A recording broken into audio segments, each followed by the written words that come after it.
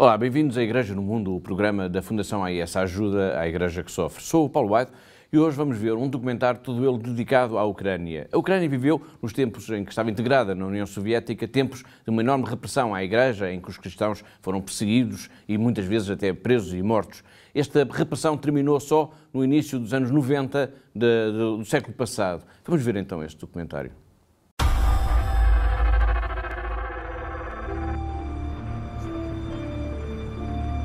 You may want to precisely describe what happened here, but it is not possible.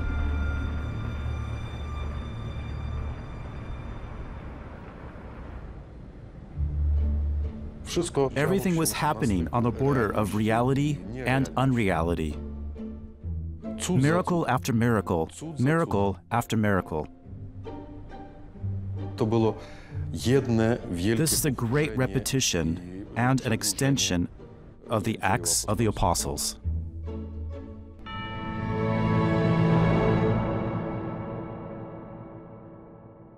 It all started with St. Andrew, who, driven by the will to tell what he experienced as an apostle, went up north until he reached the Dnieper River where today's Kiev is situated. He placed the cross on the hill and he made the prophecy This cross will become a leaven for the great center of Christianity in this part of the world.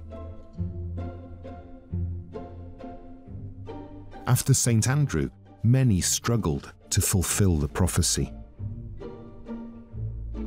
900 years later, the cross truly ruled over this place, thanks to the Grand Prince of Kiev, Vladimir the Great. After being baptized, he changed from a mugger and debaucher into a wise and merciful ruler. However, he kept on cruelly punishing the heathen. As a result of the Great Schism, Christianity has been divided into Eastern Orthodox and Roman Catholic. The lands of today's Ukraine were assigned to the Orthodox Church.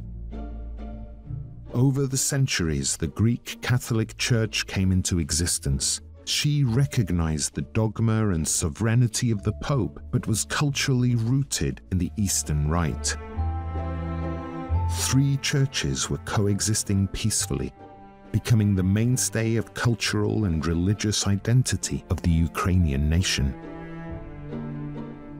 Everything changed once the communists came into power. The church became the greatest enemy of the state. The temples were destroyed, priests and faithful were executed or sent to gulags. The man was no longer needed if he wasn't useful for the communist future.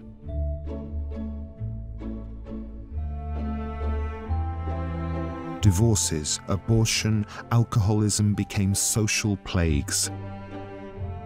The perestroika, fall of the Soviet Union, and independence of Ukraine created a new space for the work of the churches but years of atheistic propaganda resulted in many Ukrainians living in spiritual emptiness.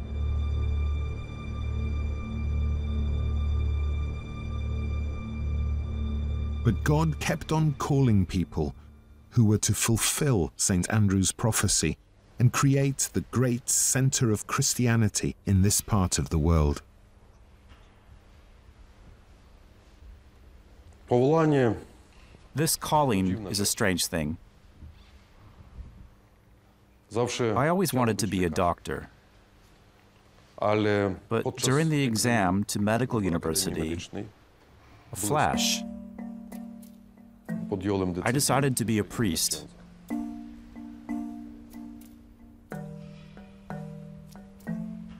I stood up and walked out.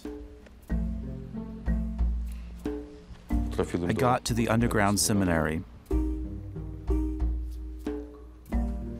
Being a priest for just 10 months, I got a decree for the whole of east of Ukraine.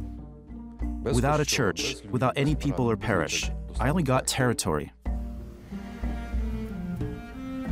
and off I went into the great unknown.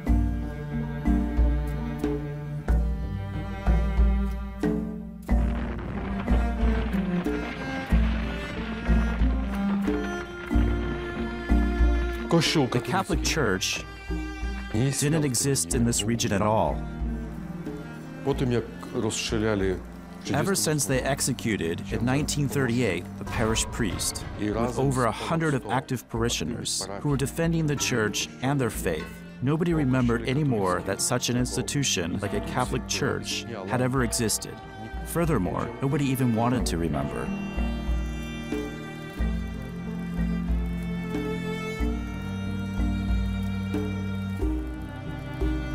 The church was converted into a repair shop for cinema equipment and a repository for tickets and movie copies.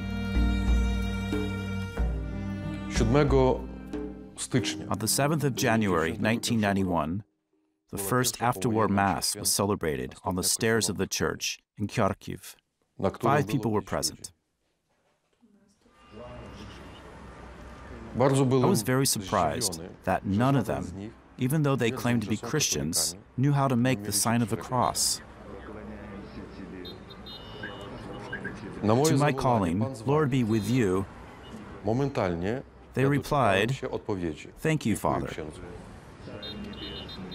This Mass took one and a half hour because first I had to explain everything that we do during the Mass and only then actually do it. It was the beginning of the Catholic Church in the East Ukraine.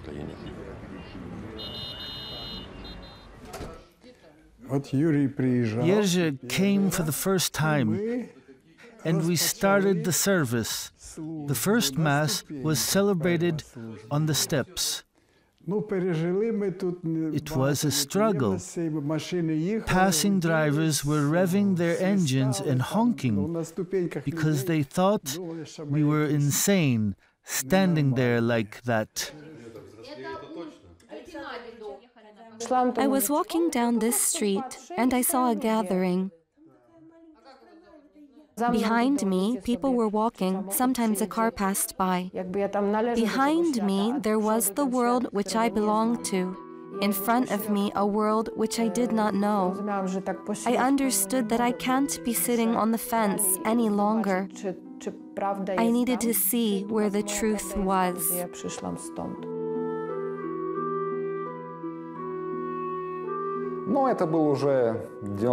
It was already 1991 when, in general, the whole society began to have a different point of view of things like the church, faith, God. They were no longer ridiculed and forbidden.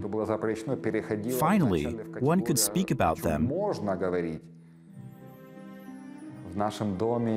we do not talk about such topics at home because it was the Soviet Union.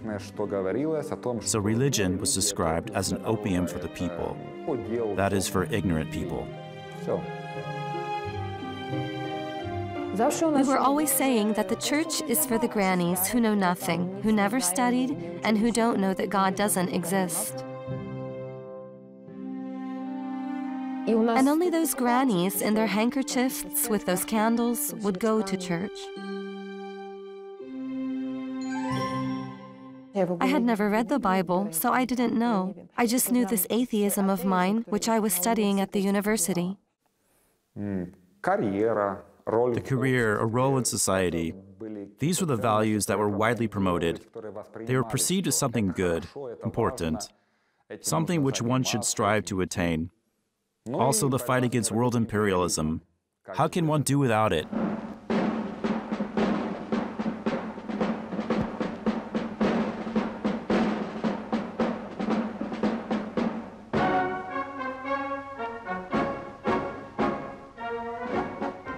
When we realized that the Soviet Union is over, then it dawned on me that everything we were taught was a lie that roughly speaking, they definitely scammed us.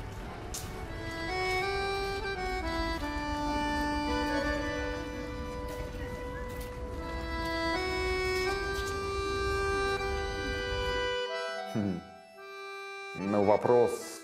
To the question, firstly, about the meaning of life. Before, the party was giving the answer to the question, but now it is not clear at all why a person lives and why they should live, how to build life, and what to do with it. And what is the truth?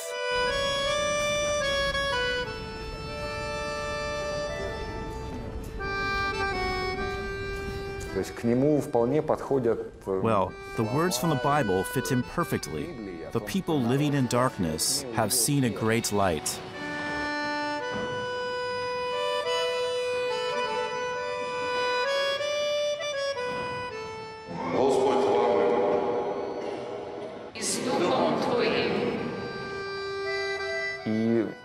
And somehow slowly, the existence of, let's say, this world of the invisible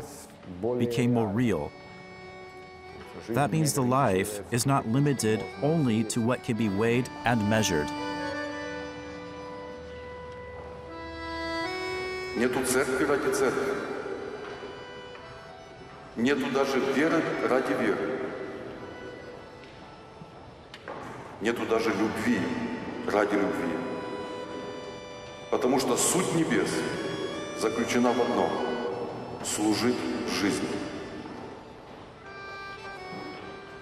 Чтобы мы дошли до порогов отчего дома и, отчитавшись Ему за нашу бренность, имели достоинство быть приглашенными войти в Дом Отца. Войти со смыслом прожитой жизни – войти со смыслом прожитой каждой жизненной ситуации.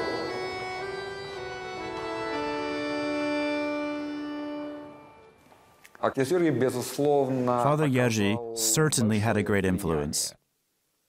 He spent a lot of time to answer the questions that I had.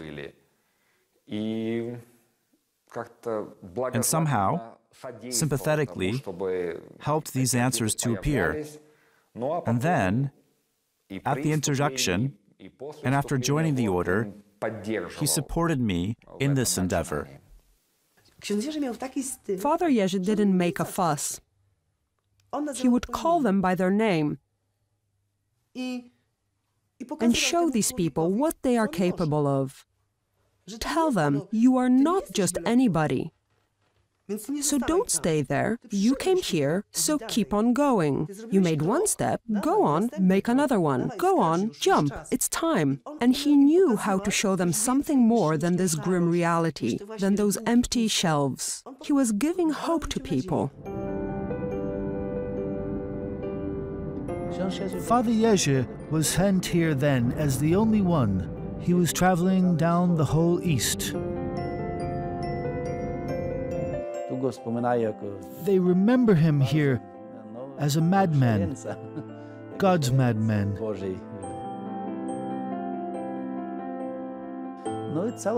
He gave up his whole youth to serve here. I went to the head cities of other voivodeships. Everywhere, we managed to restore the Roman Catholic parishes within a couple of years.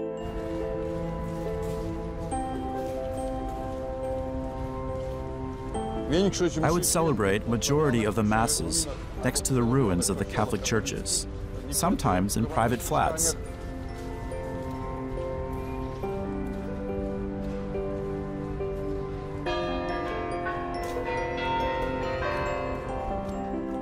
Was knocking on people's doors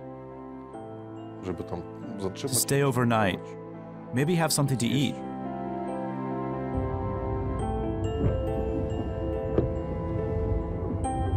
When I understood I have no more strength,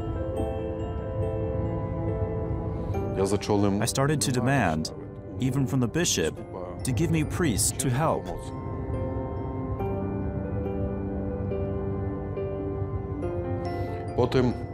Then I invited religious sisters from different convents. And they came. And it was also a hero's attitude. I bought some barracks and I converted them into a vicarage that consisted of priest's house, religious sister's house, a kitchen, and a parish office. To jest nasze mieszkanie, tuż właśnie przy kościele. To są nasze łóżka, nasze szafy, tu jest biurko, cała kancelaria, nie tylko wśród franciszkanek, ale prawie kościoła całego, plebanii. Z tego miejsca, gdzie tutaj jestem, gdzie jedzą siostry franciszkanki przy tym stole, często kapie z sufitu dolewa nam się do talerza, ale to nic nie szkodzi. Those were the most beautiful years for us.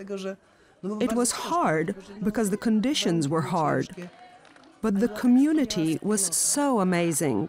The faith was so lively. People were newly converted. Everything they did, how they lived, they were not talking and not thinking, but simply living the faith. Yes meant yes, no meant no. And there was nothing in between. I liked it so much. At the time, I really learned a lot. As a Christian, as a Catholic, of this living faith. Till today, I am based on it, and it helps me a lot.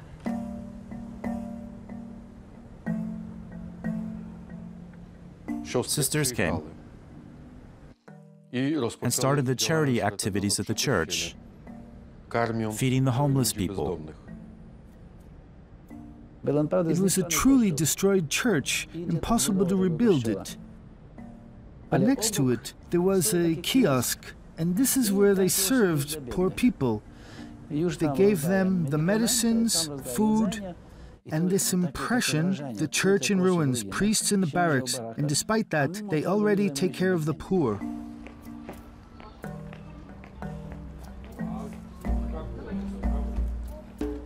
Дайте мне одеться вашу. Но я вам принесу, то есть женская. Женская. Нет, под горло что-нибудь. Принесу хорошо. Шиферочек. Да. А шапочек у вас Пожалуйста. Ша шапочек нет. Мам. After the fall of the Soviet Union, the country collapsed and the value system disintegrated. Everyone was just thinking of themselves. And the people who before had work and were secure now were left with no job, unsecured.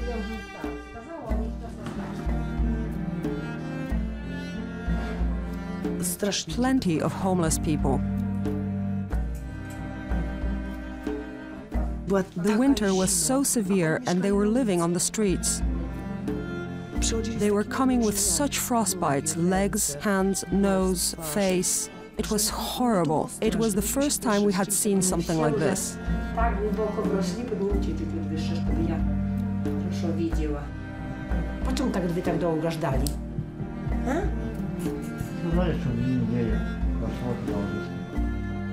Some of them had two PhDs, very knowledgeable, but not clever. They didn't know how to find themselves in the new reality. They were used to the academic work and not to such harsh conditions. It was all makeshift. The fact that we managed to get out of the 90s alive is just thanks to the Lord's mercy and His love for our nation. Все, не разговариваем. Теперь молитва. Тишина. W imię Ojca i Syna i Świętego Ducha. Amin. Отче наш, сущий на небесах, да святится имя Твое, да придет Царствие Твое.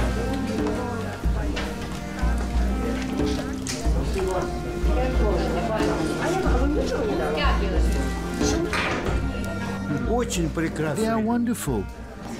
All people here are happy with them. Those who come, all people are happy.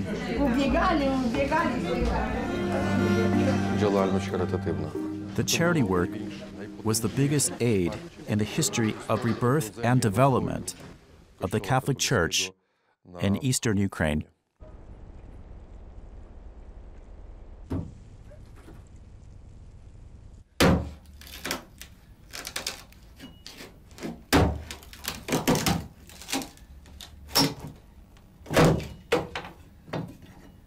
трудно.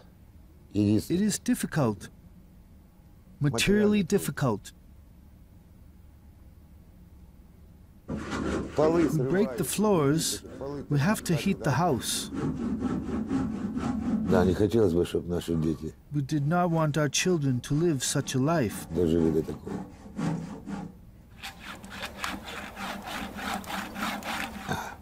Who needs us?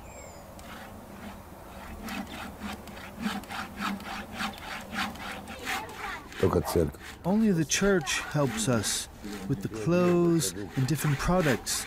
Nobody else. This is for us until tomorrow morning. It is a soup that Brother Alois gave us.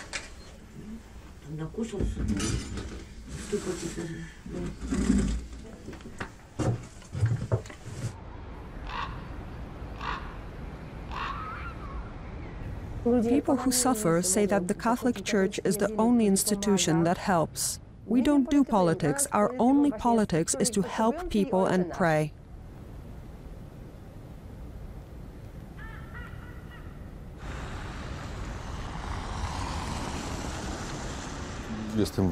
I am gravely grateful to the sisters that they agreed to come here and were able to take the burden of the tragedy of homeless people. But what was scariest for them as women, that was the discovery of the street children. I remember when I offered to the sisters to go and see the street children.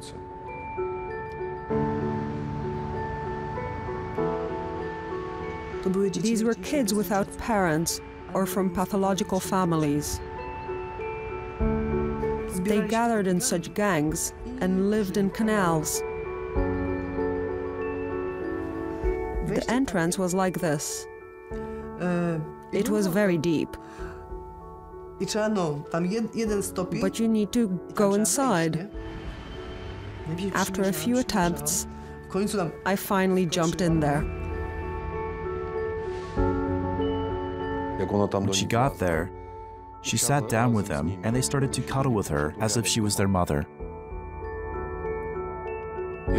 And they immediately fell asleep.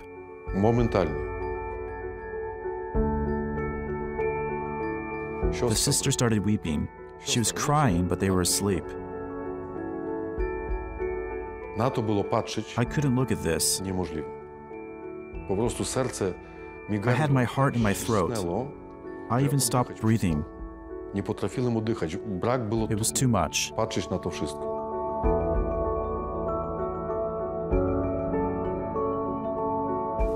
They had a dream of a real home, and they created an imitation of such a real home underground.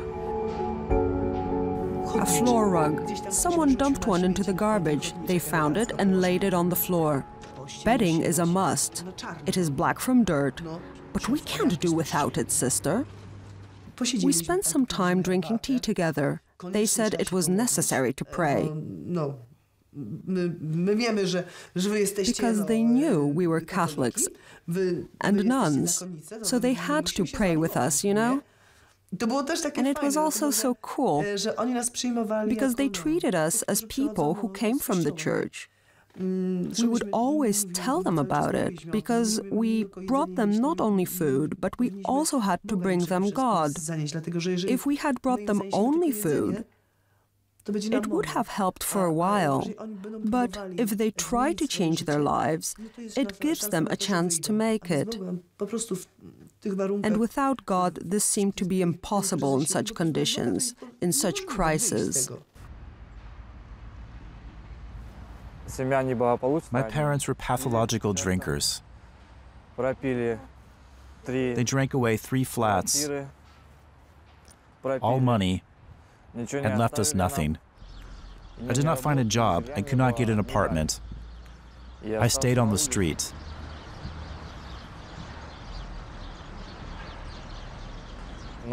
But in my case, everything changed. The church helped me a lot. They showed me another way, taught me how to live like others do, to go and work, have and raise children. What happened to me? I met my wife. The baby was born. All was well. With God's help and with prayer, life gets better.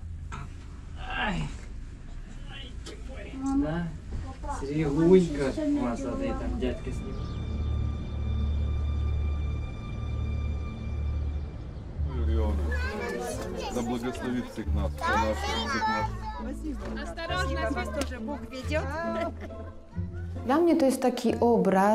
I look at us, people of the East, like children from an orphanage. We had food, we had good living conditions, but there was no such thing as parental love. And if you haven't experienced that, it's as if you are locked up in an orphanage and only material things matter to you.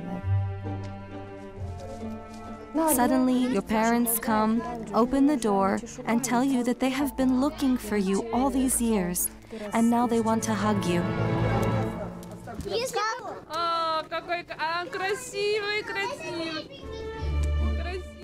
Father Jerzy speaks about human dignity, that it does not stem from the fact that I am a member of Komsomol, a daughter of the Soviet Union, but that I am God's daughter. We are all from the orphanage called the Soviet Union. Father Jerzy led us out of it.